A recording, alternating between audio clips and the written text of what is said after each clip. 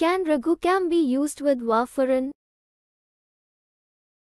No, Raghucam should be avoided with warfarin as they both lead to increase in bleeding tendencies. Inform your doctor if you are taking any of the medications. If given together then the therapy should be monitored closely.